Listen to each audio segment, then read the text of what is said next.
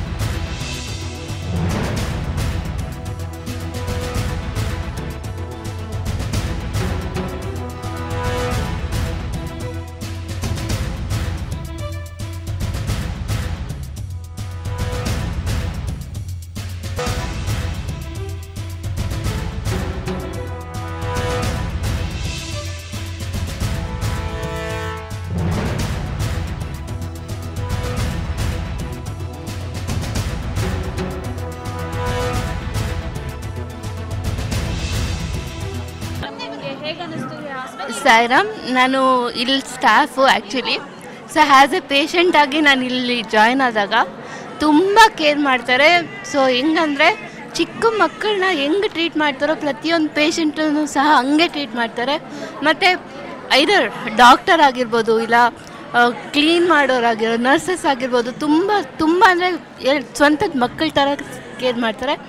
ಹಾ kindly hearted ಥರ treat ಮಾಡ್ತಾರೆ. ನಿಜ, ತುಂಬ ಹ್ಯಾಪಿ ಆಯಿತು. ಮತ್ತು ಫೈವ್ ಡೇಸ್ ಇದ್ದೆ ಫೈವ್ ಡೇಸು ಅಷ್ಟೇ ತುಂಬ ನೀಟಾಗಿ ಎಷ್ಟು ಚೆನ್ನಾಗಿ ನೋಡ್ಕೊಂಡು ಅಂದರೆ ಸ್ವಂತ ಮಕ್ಕಳ ಥರ ನೋಡಿಕೊಂಡ್ರು. ಈಗ ಮಗು ಹೆಲ್ತ್ ಯಾವ ರೀತಿ ಹೆಲ್ತ್ ಇನ್ನೊಂದು ಹೆಲ್ತಿಗೆ ಬಂದರೆ ಡಿವೈನ್ ಮದರ್ಸ್ ಟೀಮ್ ಇದೆ ಇಲ್ಲಿ. ಅವರು ಡೈಲಿ ಮನೆಗೆ ಟ್ವೈಸು ವಾರಕ್ಕೆ ಎರಡು ಸತಿ ಬಂದು ಡೈಲಿ ವೆಯ್ಟ್ ಚೆಕ್ ಮಾಡಿಸ್ಕೊಂಡು ಮತ್ತು ಅವರು ನಾವು ನ್ಯೂಟ್ರಿಷಿಯಸ್ ಫುಡ್ ಯಾವ ಥರ ತಗೋಬೇಕು ಏನು ನಾರ್ಮಲ್ ಹಿಂದಿನ ಕಾಲದಲ್ಲಿ ಅದು ತಗೋಬಾರ್ದು ಇದು ತಗೋಬಾರ್ದು ಅಂತೆಲ್ಲ ಇರ್ತಾಯಿತ್ತು ಬಟ್ ಇವರೆಲ್ಲ ಇದು ತಗೋಬೇಕು ಅಂತ ಬಿಟ್ಟು ಪಕ್ಕ ಮೊಳಕೆ ಕಾಳಾಗಿರ್ಬೋದು ಸೊಪ್ಪಾಗಿರ್ಬೋದು ಎಲ್ಲ ಪ್ರತಿಯೊಂದು ತಗೋಬೇಕು ಅಂತ ಹೇಳ್ತಿದ್ರು. ಯಾರೇ ಆಗಲಿ ನಾವು ಪ್ರೈವೇಟ್ಗೆ ಹೋದ್ರೂ ಬೇರೆ ಹಾಸ್ಪಿಟ್ಲಿಗೆ ಹೋದ್ರೂ ಬೇರೆಯವ್ರು ಬಂದು ನಮ್ಗೆ ಚೆಕ್ ಮಾಡ್ತಿಲ್ಲ. ಅಂಥದ್ದು ಪ್ರತಿ ಮನೆಗೂ ವಿಸಿಟ್ ಮಾಡಿ ಅವ್ರಿಗೆ ಎಂಥ ಕೇರ್ ಮಾಡೋದಂದ್ರೆ ಐ ಆಮ್ ವೆರಿ ಹ್ಯಾಪಿ ಹೌದು ಹೌದು. ಕಂಪ್ಲೀಟ್ಲಿ ಇಲ್ಲ. Completely free of cost so thank you thank you ಸಾಯಿಬಾಬಾಗೆ ಅವರು ಥ್ಯಾಂಕ್ ಯು ಹೇಳ್ತೀನಿ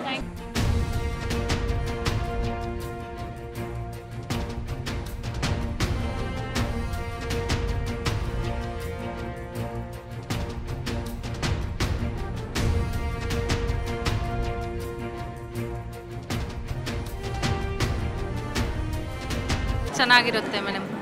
ನಮಗೆ ತುಂಬ ಚೆನ್ನಾಗಿದೆ. ಇಷ್ಟ ಆಯಿತು ಬಂದ್ವಿ. ಒಳ್ಳೆ ರೆಸ್ಪಾನ್ಸ್ ಇದೆ ಒಳ್ಳೆ ನೀಟ್ನೆಸ್ಸು ಏನೇ ಕೇಳಿದ್ರು ಫುಲ್ ಸರ್ವಿಸ್ ಚೆನ್ನಾಗಿದೆ.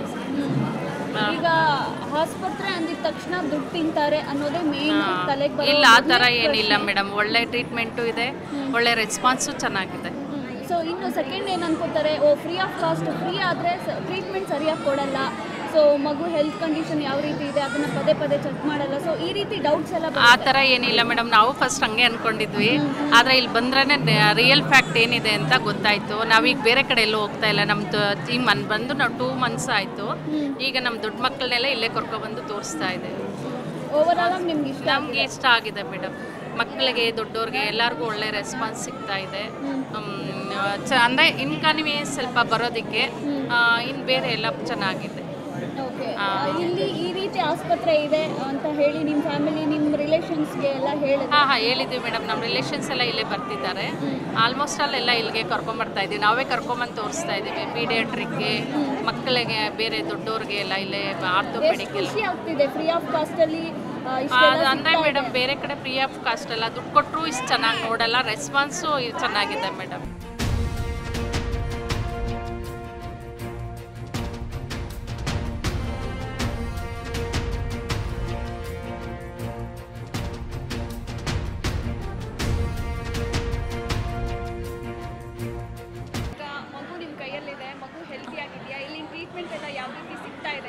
ಆ ಮ್ಯಾಮ್ ಚೆನ್ನಾಗಿದೆ, ಇಲ್ಲಿಂದ ಟ್ರೀಟ್ಮೆಂಟ್ ಎಲ್ಲ. ಪ್ರೆಗ್ನೆನ್ಸಿ ಟೈಮಲ್ಲೆಲ್ಲ ಇಲ್ಲ, ಇಲ್ಲೇ ತೋರಿಸಿದ್ದು. ಟ್ರೀಟ್ಮೆಂಟ್ ಎಲ್ಲ ತುಂಬ ಚೆನ್ನಾಗಿದೆ. ಆದರೆ ನಾನು ಡೆಲಿವರಿ ಟೈಮಲ್ಲಿ ಕೂಡ ತುಂಬ ಭಯದಿಂದ ಬಂದೆ, ಏನಾಗುತ್ತೋ ಏನಾಗುತ್ತೋ ಅಂತ. ಇಲ್ಲಿ ಎಷ್ಟು ಚೆನ್ನಾಗಿ ಟ್ರೀಟ್ ಮಾಡಿದ್ರು ಅಂತಂದರೆ ಮದರ್ ಇದ್ದರೂ ಕೂಡ ಅಷ್ಟು ನಮ್ಮನ್ನು ಕೇರ್ ಮಾಡ್ತಾರೋ ಇಲ್ವೋ ಗೊತ್ತಿಲ್ಲ, ಇಲ್ಲಿ ಅಷ್ಟು ಚೆನ್ನಾಗಿ ಟ್ರೀಟ್ ಮಾಡಿದ್ರು. ಹುಟ್ಟಿದಾಗ ಬಂದುಬಿಟ್ಟು two point eight hundred eight eight hundred K G ಇತ್ತು. ಇವಾಗ ಬಂದು ಫೋರ್ ಪಾಯಿಂಟ್ ಟೂ ಫಿಫ್ಟಿ ಇದೆ ಮ್ಯಾಮ್ ಆದರೆ ತುಂಬ ಚೆನ್ನಾಗಿ ಟ್ರೀಟ್ ಮಾಡ್ತಾರೆ ಮ್ಯಾಮ್ ಇಲ್ಲಿ ಇಲ್ಲಿನ ಮೆಡಿಷನ್ನೇ ಆಗಲಿ ಇಲ್ಲಿಂದೆಲ್ಲೇ ಎಲ್ಲ ಡಾಕ್ಟರ್ಸೇ ಆಗಲಿ ಅಟೆಂಡರ್ಸೇ ಆಗಲಿ, ಎಷ್ಟು ಚೆನ್ನಾಗಿ ಟ್ರೀಟ್ ಮಾಡ್ತಾರೆ ಗೊತ್ತಾ ಮ್ಯಾಮ್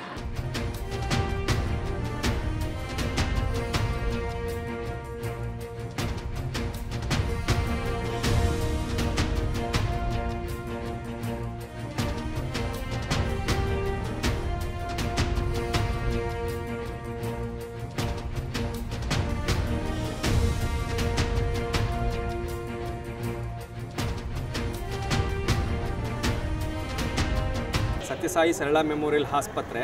ಇದು ಪ್ರಶಾಂತಿ ಬಾಲಮಂದಿರ ಟ್ರಸ್ಟ್ ಒಂದು ನಡೆಸ್ತಾ ಇರೋವಂಥದ್ದು. ಮುನ್ನೂರು ಬೆಡ್ಡಿನ ಸುಸಜ್ಜಿತವಾದಂಥ ಆಸ್ಪತ್ರೆ ಇದು. ಬನ್ನಿ ಒಳಕೋಣ ಪೇಷಂಟ್ ಬಂದ ತಕ್ಷಣವೇ ಇಲ್ಲಿ ಅವರು ರಿಜಿಸ್ಟರ್ ಮಾಡ್ಕೊತಾರೆ. ರಿಜಿಸ್ಟರ್ ಮಾಡಿಕೊಂಡು ಒ ಪಿ ಡಿಗಳಿಗೆ ಹೋಗ್ತಾರೆ.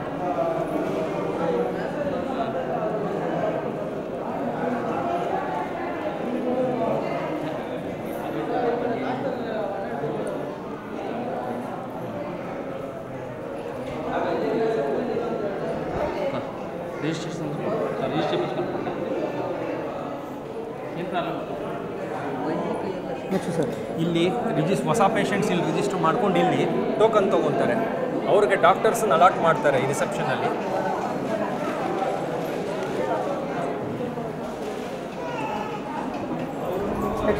this is our waiting lounge ಇಲ್ಲಿ ವೆಯ್ಟ್ ಮಾಡ್ತಾರೆ.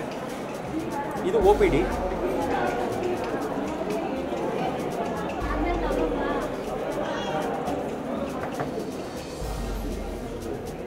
ಒಂಬತ್ತೇನು ಒಂಬತ್ತನೇ general O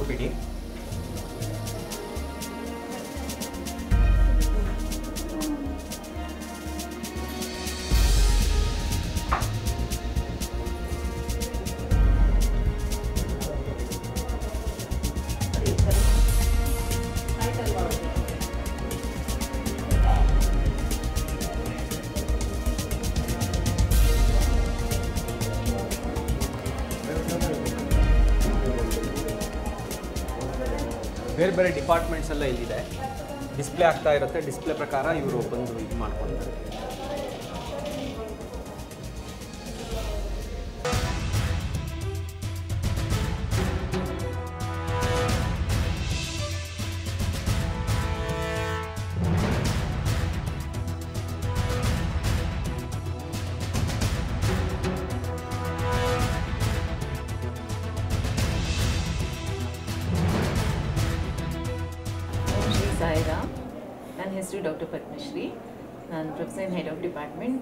Shri Sathya Sai Sarla memorial hospital department of O B G ನಾನು ಬಂದು ಈ ಹಾಸ್ಪಿಟಲ್ಗೆ ಮೂರು ತಿಂಗಳಾಗಿದೆ. ಆವತ್ತಿನ ಈ ತ್ರೀ ಮಂತ್ಸಲ್ಲೇ ಪೇಷಂಟ್ಸು ತುಂಬ ಜಾಸ್ತಿ ಬರ್ತಾ ಇದ್ದಾರೆ ಒ ಪಿ ಡಿ ಪೇಷಂಟ್ಸಲ್ಲೇ ಒಂದು ದಿವಸಕ್ಕೆ ಬರೀ ನಮ್ಮ ಡಿಪಾರ್ಟ್ಮೆಂಟಲ್ಲೇ ನೂರೈವತ್ತರಿಂದ ಇನ್ನೂರು ಪೇಷಂಟ್ಸ್ ಬರ್ತಾ ಇರ್ತಾರೆ ನಮ್ಮ ಡೆಲಿವರಿ ರೇಟ್ಸು ಆಲ್ಮೋಸ್ಟ್ ಇವಾಗ one fifty to one eighty per month almost five to seven deliveries per day ಆಗ್ತಾ ಇದೆ.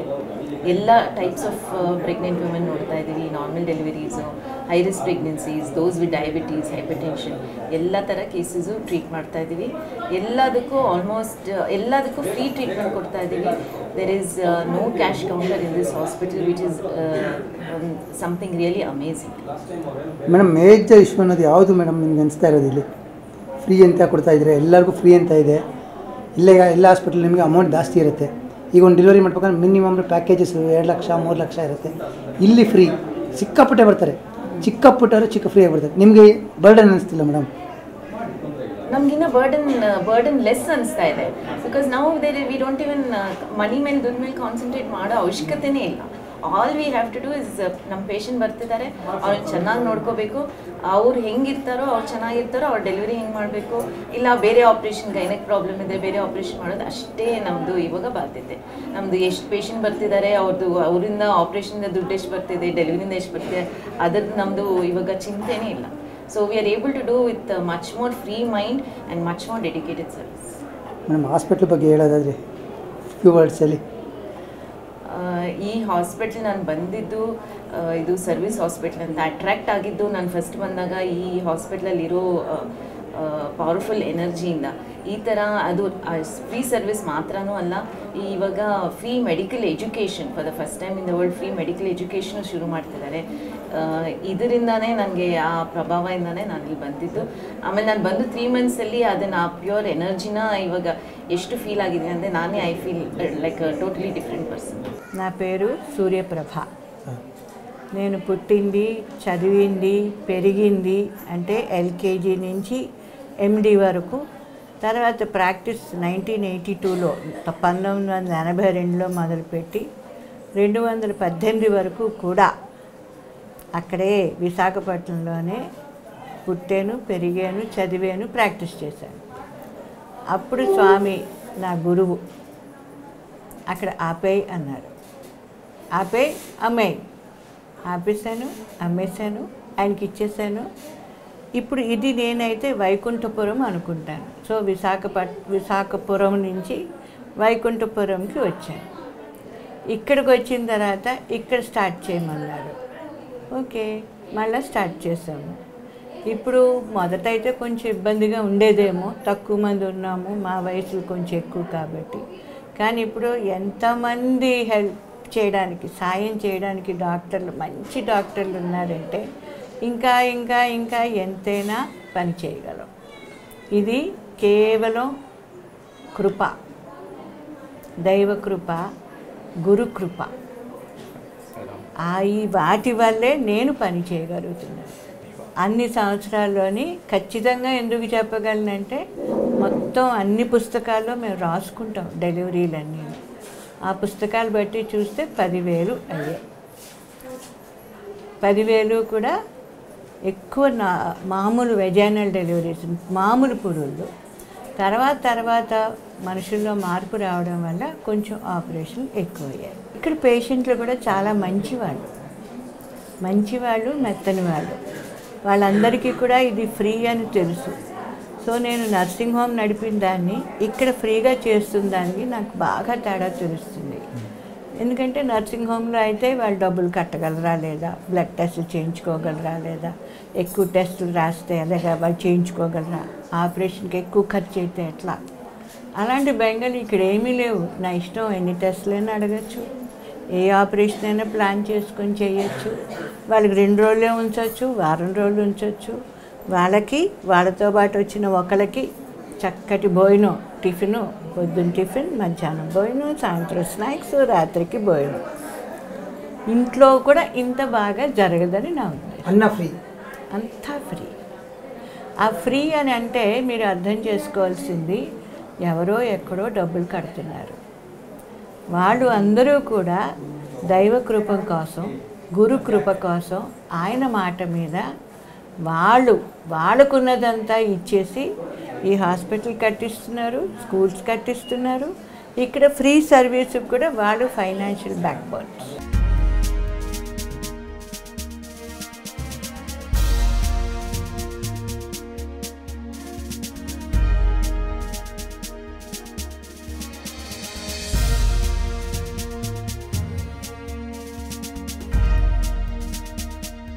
ಹೆಸರು ಡಾಕ್ಟರ್ ಎ ಆರ್ ರಘುಪತಿ ಅಂತ. ನಾನು ಈ ಇನ್ಸ್ಟಿಟ್ಯೂಷನನ್ನು ಡೈರೆಕ್ಟ್ರಾಗಿ ವರ್ಕ್ ಮಾಡ್ತಾ ಇದ್ದೀವಿ. ಎಲ್ಲರೂ ಮೆಡಿಕಲ್ ಕಾಲೇಜನ್ನು ಓಪನ್ ಮಾಡ್ತಾರೆ. ಅದೇನು ವಿಶೇಷತೆ ಏನಿಲ್ಲ. ನಮ್ಮಲ್ಲಿ ಮೆಡಿಕಲ್ ಕಾಲೇಜ್ ಯಾಕೆ ವಿಶೇಷತೆ ಏನು ಅಂತ ಹೇಳಿದ್ರೆ uniqueness of this medical college ಏನು ಅಂತ ಹೇಳಿದರೆ, ನಾವು ಎವ್ರಿಥಿಂಗ್ ನಾವು ಫ್ರೀಯಾಗಿ ಕೊಡ್ತಾ ಇದ್ದೀವಿ. ಪೇಷಂಟಿಗೆ totally free of medical there is no billing counter in our hospital even for ಸ್ಟೂಡೆಂಟ್ಸಿಗೆ donation ಇಲ್ಲ ಟ್ಯೂಷನ್ ಫೀ ಇಲ್ಲ ಈವನ್ ಹಾಸ್ಟೆಲ್ ಫೀ ಇಲ್ಲ. ನೀವು ಗೌರ್ಮೆಂಟಲ್ಲಿ ಹೋದರೂ ಸಹಿತ ನಿಮಗೆ ಗೌರ್ಮೆಂಟ್ ಕಾಲೇಜಿಗೆ ಸೇರಿದರೂ ಸಹಿತ ನಿಮ್ಗೆ ಏನಾಗಬೇಕು, ನೀವು ಲಿಮಿಟೆಡ್ ನಂಬರ್ ಆಫ್ ಇದು ಫೀಸನ್ನು ಕಟ್ಟಲೇಬೇಕಾಗತ್ತೆ ಹಾಸ್ಟೆಲ್ ಫೀಸ್ ಕಟ್ಟಬೇಕಾಗತ್ತೆ ಇಲ್ಲಿ ಅದು ಇಲ್ಲ ಎಲ್ಲವನ್ನೂ ಫ್ರೀಯಾಗಿ ಕೊಡ್ತಿದ್ವಿ. ನೀವು ಕೇಳ್ಬೋದು, ಯಾಕೆ ನಾವು ಇದನ್ನು ಫ್ರೀಯಾಗಿ ಮಾಡ್ತಾ ಇದ್ದೀವಿ ನೀವು ಹೇಗೆ ಮಾಡ್ತಿದ್ದೀರಿ? ಇದು ಹೇಗೆ ಸಾಧ್ಯ? ಈಸ್ ಇಟ್ ಪಾಸಿಬಲ್ ಅಂತ. ನಾವು ನಾವು ಎಲ್ಲರೂ ಭಗವಾನ್ ಶ್ರೀ ಸತ್ಯಸಾಯಿ ಬಾಬಾ ಅವರ ಪ್ರಿನ್ಸಿಪಲ್ ಮೇಲೆ ನಡೀತಾ ಇರೋವಂಥ ಸಂಸ್ಥೆ ಇದು. ಭಗವಾನ್ ಸತ್ಯಸಾಯಿ ಬಾಬಾ ಮೂರು ಅಂಶನ ಒತ್ತಿ ಒತ್ತಿ ಹೇಳ್ತಾ ಇದ್ದರು education health care and food ಮಕ್ಕಳಿಗೆ ಅದು ಫಂಡಮೆಂಟಲ್ ರೈಟ್ ಆಗಬೇಕು. They it is it should be reach totally free of cost ಅಂತ. ನಿಮಗೆ ಗೊತ್ತಿರ್ಬೋದು Bhagawan Sathya Sai Baba education institution start ಮಾಡಿದರು, ಅದು ಟೋಟಲಿ ಫ್ರೀ. ಎರಡು ಸೂಪರ್ ಸ್ಪೆಷಾಲಿಟಿ ಹಾಸ್ಪಿಟ್ಲು, ಜನರಲ್ ಹಾಸ್ಪಿಟ್ಲನ್ನು ಓಪನ್ ಮಾಡಿದರು, ಅದು ಟೋಟಲಿ ಫ್ರೀ. ಅದೇ ಲೈನಲ್ಲಿ ಶ್ರೀ ಮಧುಸೂದನ್ ಸಾಯಿ ಆ ಫುಟ್ ಸ್ಟೆಪ್ಪಲ್ಲೇ ನಡೆದ್ಬಿಟ್ಟು ಟೂ ತೌಸಂಡ್ ಲೆವೆನ್ನಿಂದ ಇಲ್ಲಿವರೆಗೆ, ಟೂ ತೌಸಂಡ್ ಟ್ವೆಂಟಿ ಟೂವರೆಗೆ ಟ್ವೆಂಟಿ ಏಯ್ಟ್ ಎಜುಕೇಷನ್ ಇನ್ ಇನ್ಸ್ಟಿಟ್ಯೂಷನ್ಸನ್ನು ಕ್ರಿಯೇಟ್ ಮಾಡಿದ್ದಾರೆ, ಎಸ್ಟಾಬ್ಲಿಷ್ ಮಾಡಿದ್ದಾರೆ. ಎಲ್ಲವನ್ನೂ ಟೋಟಲಿ ಫ್ರೀ ಆಫ್ ಕಾಸ್ಟ್ ಹಾಗೆಯೇ ತ್ರೀ ಸೂಪರ್ ಸ್ಪೆಷಾಲಿಟಿ ಹಾಸ್ಪಿಟಲನ್ನು ಮಾಡಿದ್ದಾರೆ. ತ್ರೀ ಸೂಪರ್ ಸ್ಪೆಷಾಲಿಟಿ ಹಾಸ್ಪಿಟಲ್ ಎಲ್ಲೆಲ್ಲಿದೆ ಅಂದರೆ ನಯಾ ರಾಯ್ಪುರ್ ಅಂತ ಛತ್ತೀಸ್ಗಢ ಕ್ಯಾಪಿಟಲ್ನಲ್ಲಿ ಪಲ್ವಲ್, ಹರಿಯಾಣದಲ್ಲಿ ಮತ್ತು ನೈ ಮುಂಬೈಯಲ್ಲಿ. ನಿಮಗೆ ಆಶ್ಚರ್ಯ ಆಗ್ಬೋದು, ಈಗಾಗಲೇ ಇಪ್ಪತ್ತ್ಮೂರು ಸಾವಿರ ಸರ್ಜರಿ ಆಗಿದೆ. X what is the uniqueness of that super speciality hospital ಅಂತ ಹೇಳಿದರೆ is for the paediatric cardiac surgery hospital ನೀವು ಇನ್ನೂ ಒಂದು ಪ್ರಶ್ನೆ ಕೇಳ್ಬೋದು. ಯಾಕೆ ಪೀಡಿಯಾಟಿಕ್ ಕಾರ್ಡಿಯಾಕನ್ನೇ ಮಾಡ್ತಾ ಇದ್ದೀರಿ ಅಂತ? ಸ್ವಾಮಿ, ಯಾವಾಗಲೂ ನಮಗೆ ಎರಡು ಅಂಶಗಳನ್ನು ಹೇಳಿದರು. ಒಂದನೇದು ಪೀಡಿಯಾಟಿಕ್ ಕಾರ್ಡಿಯಾಕ್ ಯಾಕೆ ಅಂತಂದರೆ ದಿಸ್ ಪ್ರಾಬ್ಲಮ್ ಈ ಕಾಂಜನೈಟಲ್ ಹಾರ್ಟ್ ಡಿಸೀಸ್ ಅನ್ನೋದು most common cause in children because of the malnutrition malnutrition ಯಾರಿಗೆ ಬರುತ್ತೆ? ಬಡವರಿಗೆ ತುಂಬ ಬರ್ತಾ ಇರೋದು. ಬಡವರಿಗೆ ಬಂದಾಗ ಏನಾಗುತ್ತೆ? Nearly forty percent of the ಬ ರೋಗಿಗಳು ಐದನೇ ಬ ಹುಟ್ಟುಹಬ್ಬನ ಆಚರಿಸೋಕ್ಕೆ ಆಗೋದಿಲ್ಲ. ಆ ಥರ ಇದೆ ಸ್ಥಿತಿ. ಯಾಕೆ, ಹೇಗೆಂದರೆ ಅವ್ರ ಹತ್ರ ಹೋಗಿ ಟ್ರೀಟ್ಮೆಂಟ್ ಕೊಡೋ, ತಗೊಳ್ಳೋದಕ್ಕೆ ಅವ್ರ ಹತ್ರ ದುಡ್ಡೇ ಇರೋದಿಲ್ಲ. ಆದ್ದರಿಂದ ಸ್ವಾಮಿ ಆ ಮಕ್ಕಳ ಬಗ್ಗೆ ಗಮನ ಕೊಡೋದು. ಎರಡನೇದಾಗಿ ಯಾಕೆ? ಬಡ ಅಂದರೆ, ಇದು ಸ್ವಾಮಿ ಹೇಳ ಭಾಳ ಚೆನ್ನಾಗಿ ಹೇಳ್ತಾರೆ. ನಾನು ಬರೀ I am not closing the holes of the heart I am transforming the heart of the child ನಿಮ್ಗೆ ಗೊತ್ತಿದೆ, ಒಂದು ಮಗುನ ಕ ರಿಪೇರಿ ಆದರೂ ಮುಂದೆ ಅವನು ಐವತ್ತು, ಅರವತ್ತ, ಎಪ್ಪತ್ತು ವರ್ಷ ಬದುಕ್ತಾನೆ. ಆ ಐವತ್ತು, ಅರವತ್ತು ವರ್ಷದಲ್ಲಿ ಅವನು, ಅವನಿಗೆ ಏನಾಗ್ತದೆ, ಆ ಟ್ರಾನ್ಸ್ಫಾರ್ಮೇಷನಿಂದ ಅವನು ದೊಡ್ಡ ಆಲದ ಮರದ ಹಾಗೆ ಬೆಳೆದ್ಬಿಟ್ಟು ಅವನು ಸಾವಿರಾರು ಜನಕ್ಕೆ ಆಶ್ರಯತನ ಆಗ್ತಾನೆ. ನನಗೆ ಜನ, ನನಗೆ ಈ ಜೀವ ಕೊಟ್ಟಿದ್ದು ಸಮಾಜ. ಆದ್ದರಿಂದ ನಾನು ಸಮಾಜಕ್ಕೆ ವಾಪಸ್ ಕೊಡಬೇಕು ಅನ್ನೋ ಉದ್ದೇಶದಿಂದ ಮಾಡ್ತಾ ಇದ್ದೆ ನಾವು ಈ ಮೆಡಿಕಲ್ ಕಾಲೇಜನ್ನು ಒಂದು ಯುನಿಕ್ನೆಸ್ಸಿಂದ ಸ್ಟಾರ್ಟ್ ಮಾಡಿದ್ದೀವಿ ಏನದು? It is in the rural for the rural by the rural ಅಂತ. ನಿಮಗೊಂದು ವಿಚಾರನ ಹೇಳೋಕ್ಕೆ ಇಷ್ಟಪಡ್ತೇನೆ.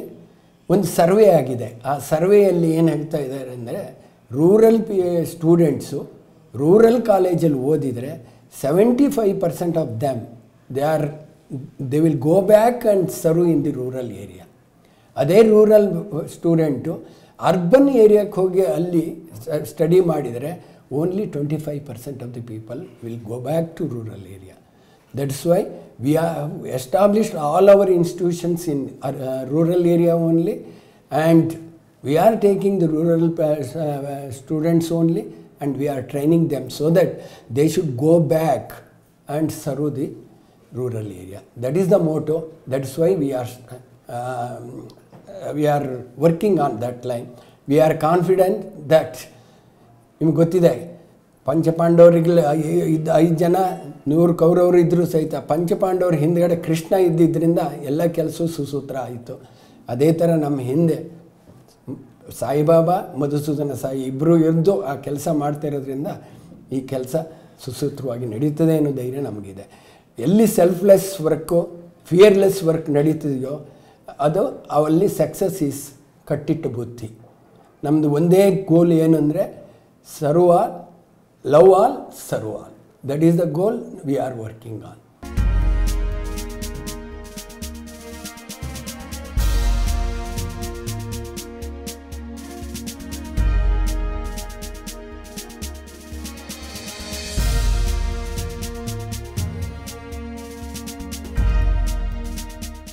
ನಮಸ್ಕಾರ.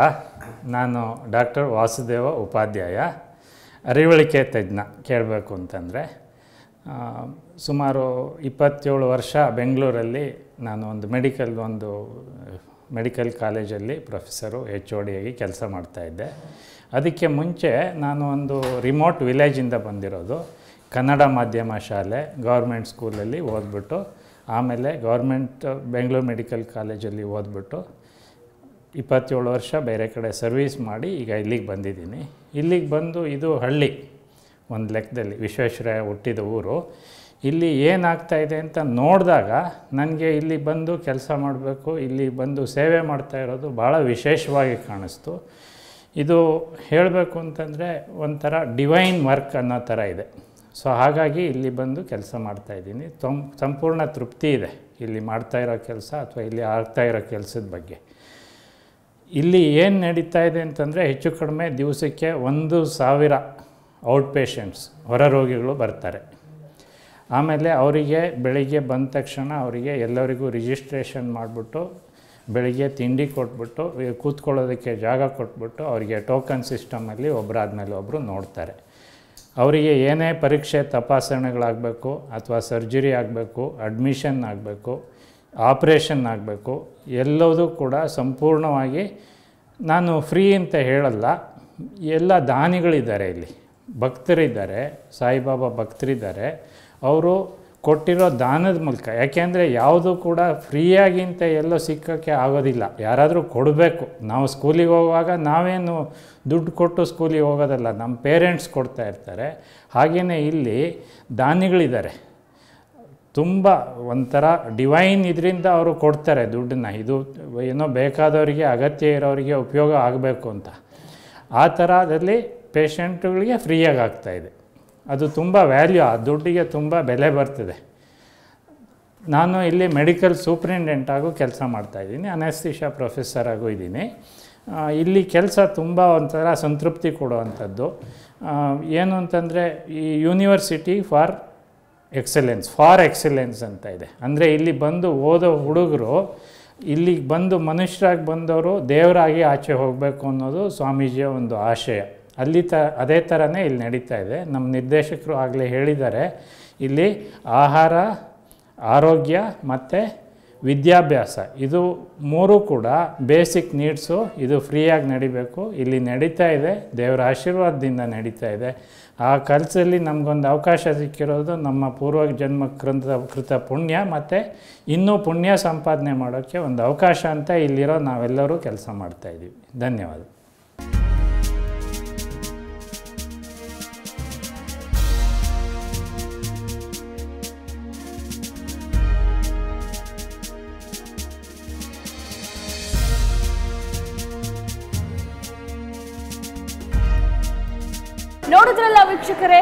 ಸತ್ಯ ಸಾಯಿ ಸರ್ಲಾ ಮೆಮೋರಿಯಲ್ ಆಸ್ಪತ್ರೆಯಲ್ಲಿ ಯಾವ ರೀತಿ ಟ್ರೀಟ್ಮೆಂಟ್ ಕೊಡ್ತಾರೆ? ಸೊ ರೋಗಿಗಳು ಏನು ಹೇಳಿದ್ರು? ಸ್ವತಃ ಅವರೇ ನಾವು ಒಂದು ರೂಪಾಯಿ ಕೂಡ ಪೇ ಮಾಡಿಲ್ಲ ಅಂತ ಸಾಕಷ್ಟು ಜನ ಹೇಳಿದ್ರು. ಸೊ ಹೀಗಾಗಿ ಇದು ಚಿಕ್ಕಬಳ್ಳಾಪುರ ಜಿಲ್ಲೆಯ ಬಡವರ ಬಂದು ಆಸ್ಪತ್ರೆಯಾಗಿದೆ. ಸೊ ಇಲ್ಲಿ ದಿನನಿತ್ಯ ಒಂದು ಸಾವಿರಕ್ಕೂ ಹೆಚ್ಚು ರೋಗಿಗಳು ಬಂದು ಚಿಕಿತ್ಸೆಯನ್ನು ಪಡೆದುಕೊಳ್ತಾರೆ. ಸೊ ಈಗಿನ ಜಗತ್ತಿನಲ್ಲಿ ಈ ರೀತಿ ಫ್ರೀ ಆಫ್ ಕಾಸ್ಟಲ್ಲಿ ಚಿಕಿತ್ಸೆ ಕೊಡೋದು ಕೆಲವೇ ಕೆಲವು ಸಾಮಾನ್ಯ ಆಸ್ಪತ್ರೆಗಳು ಅಂತಲೇ ಹೇಳ್ಬಹುದು. ಸಾವಿರದಲ್ಲಿ ಒಂದು ಅಂತಲೇ ಹೇಳಬಹುದು. ಸೊ ಈ ಆಸ್ಪತ್ರೆ ನಮ್ಮ ಚಿಕ್ಕಬಳ್ಳಾಪುರ ಜಿಲ್ಲೆಯಲ್ಲಿರೋದು ನಮ್ಮೆಲ್ಲರ ಹೆಮ್ಮೆ ಅಂತ ಹೇಳ್ತಾ ನೋಡ್ತಾ ಇರಿ. ಜೀ ಕನ್ನಡ ನ್ಯೂಸ್ ಸತ್ಯವೇ ಸುದ್ದಿಯ ಜೀವಾಳ.